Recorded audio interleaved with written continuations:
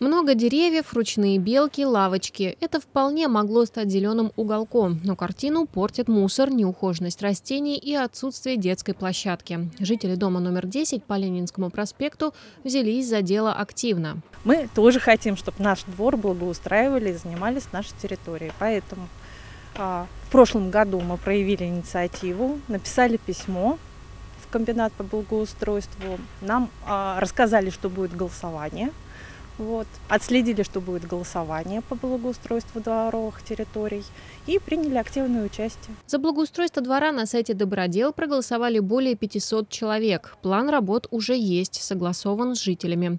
Сейчас ищут подрядчика и составляют смету будущих работ. Что запланировано? А, расширение проезда, парковочный карман. А, вот вся вот эта парковка, она будет расширена, а, проведены работы по разметке парковочных мест.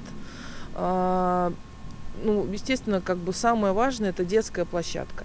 Детская площадка запланирована достаточно большая, с хорошим интересным наполнением, а, фитнес-зона. Кронирование деревьев, освещение, газоны, малые архитектурные формы. Все это планируют сделать уже к осени. Ксения Каретникова, Ксения Брагина, Николай Забродин, Служба новостей.